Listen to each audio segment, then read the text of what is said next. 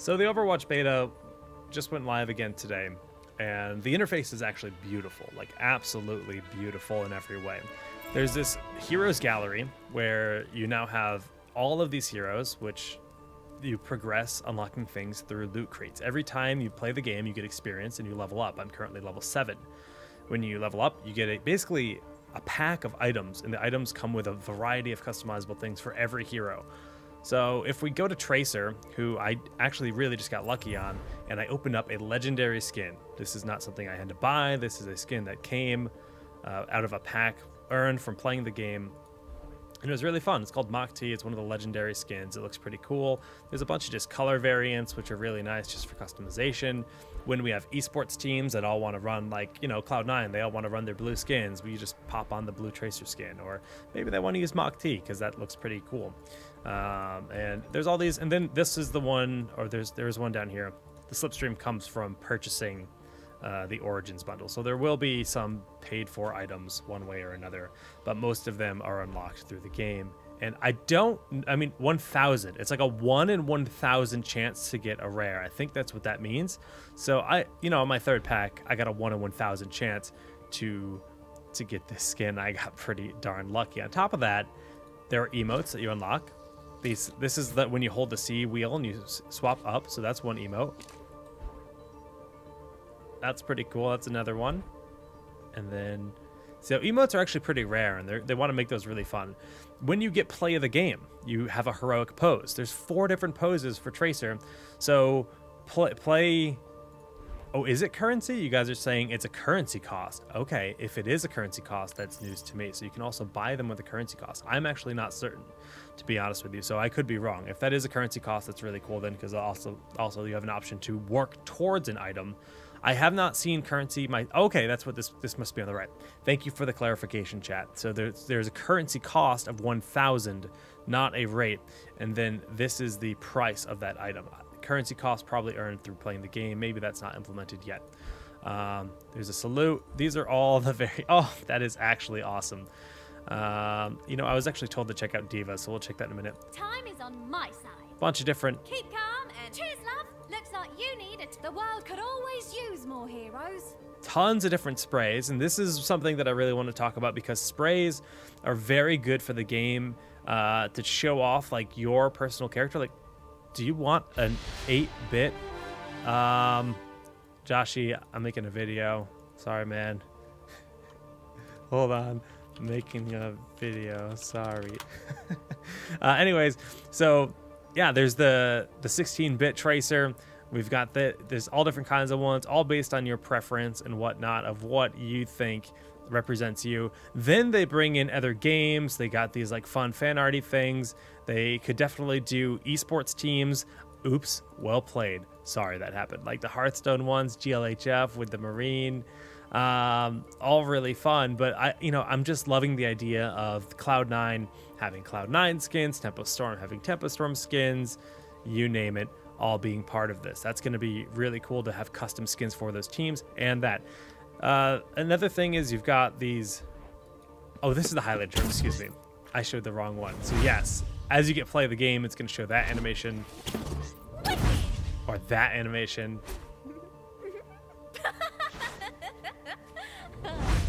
What an adorable character. I've just got random. Um, so the cool things about that is, of course, esports team spray paints, but also the fact that you unlock these packs, these loot box, and then you have these packs that you can open up. Unfortunately, I can't open one right now because I don't have one.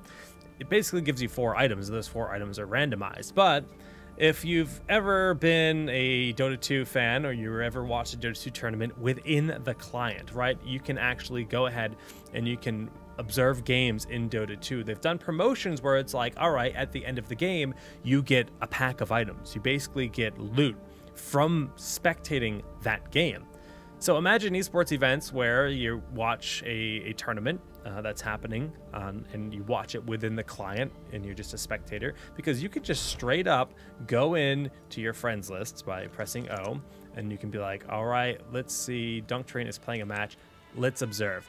And it's like an insta join. There's like there's no delay to that. So if their infrastructure can can handle me just joining my friends and watching their games, they probably have an infrastructure that will support uh, the ability to do this at a massive, massive, like unlimited scale, essentially, where 100,000 people can tune into an Overwatch match and all observe with that kind of functionality. Obviously, they haven't announced anything like that, but theoretically, if it seems like the infrastructure is there, and that's what matters.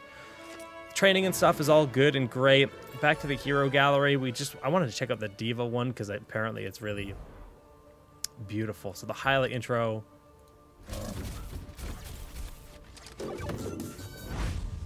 the little sound effect makes nice. This is the one he said that's good. Lying around. Oh, yep. No wonder he would tell me to do this. He knew I would like that.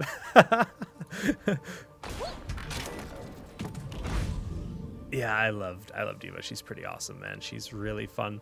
And there's all kinds of skins. I mean, just just to get an idea of what they have for her, it's mostly just like it's mostly just colors. I think D.Va will they'll probably do more customized ones eventually. She's a really new hero. I mean, in terms of skins for Genji, anything cool. No, I mean, it's, again, all just colors. Who else is like a poster boy? Winston is kind of a poster boy. Does he have anything cool? Banana? Uh, Marine? All right. Yeah, that's definitely cool. He's like Aquamarine under the sea.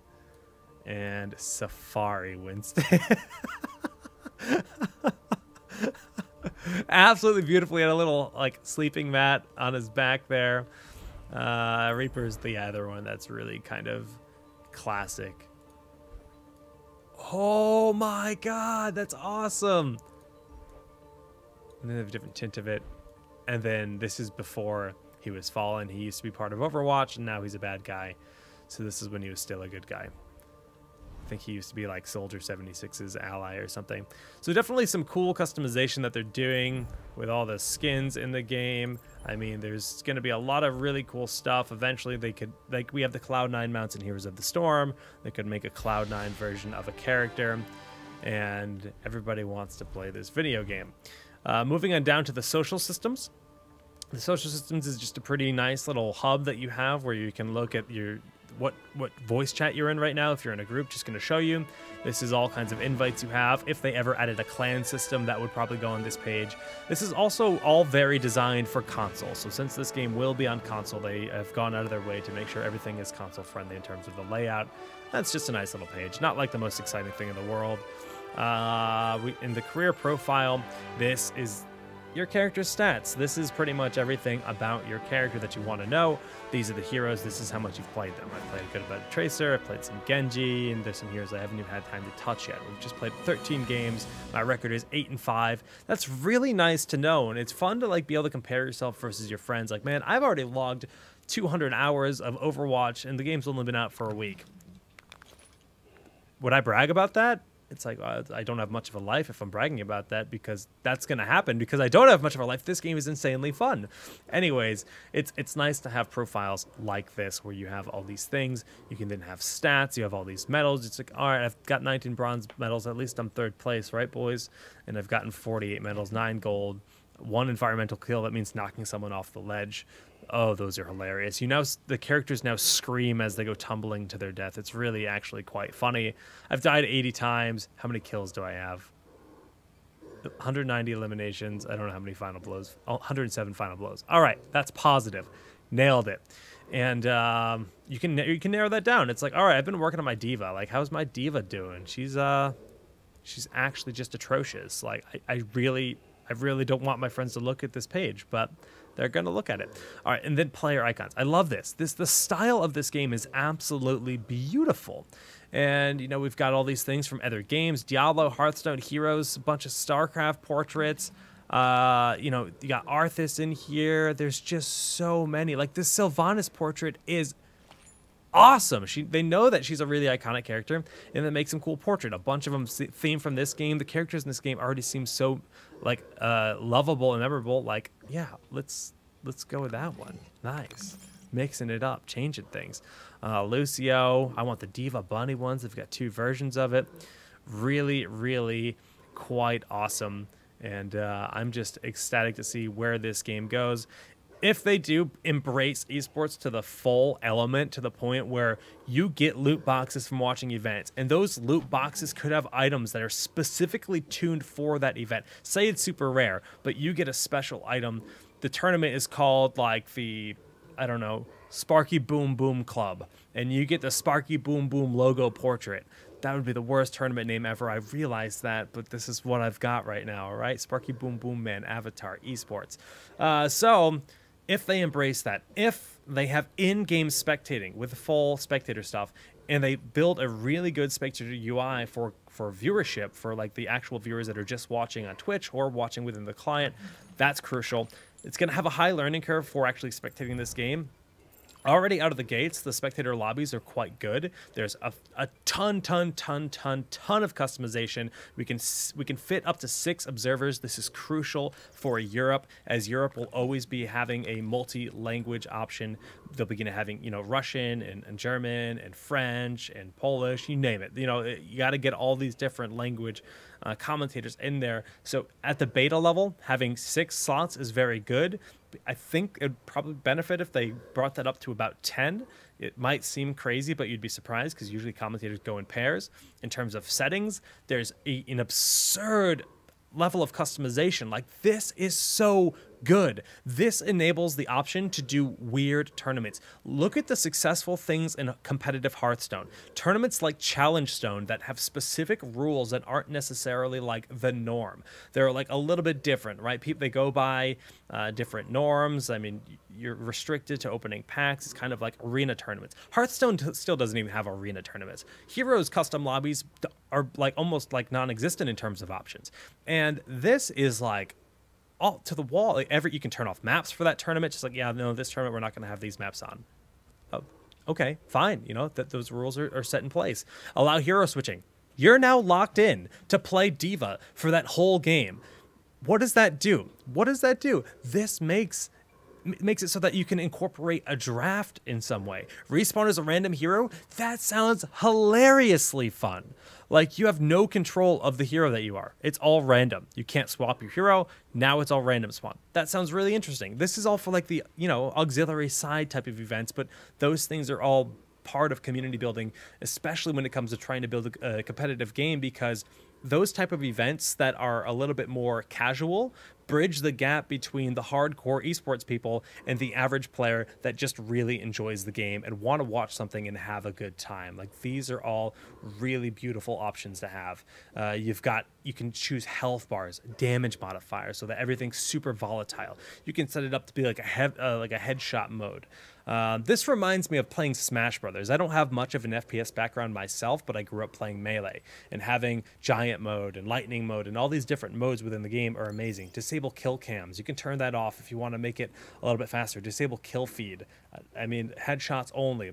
Super, super fun. Team balancing. I don't really understand what that means, to be completely honest. Not really sure what that entails. But all of these features and all of these options that Blizzard has put into this game, it shows how much they've thought it out. They have sat down and they've storyboarded and they've planned out every element of the future of this game.